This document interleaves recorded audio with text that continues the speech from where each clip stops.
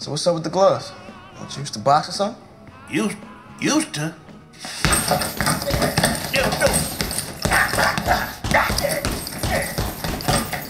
Still got a little something. And you uh you box anybody I know? You ever heard of Muhammad Ali?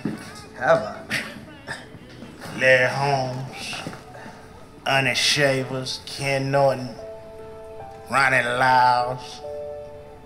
I even knocked out, uh, what's that boy named? Leon Spinks.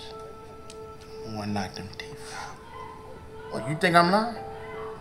Look, man, I was their sparring partner. They used to give me $300 a round to spar. That's big money back then.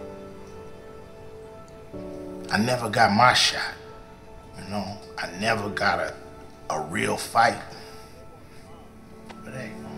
Hey, So why they call you Thump?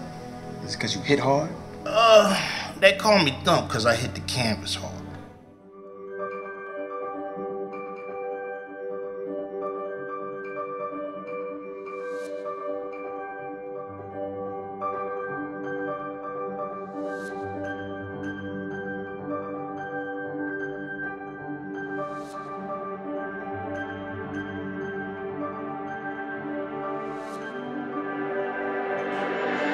you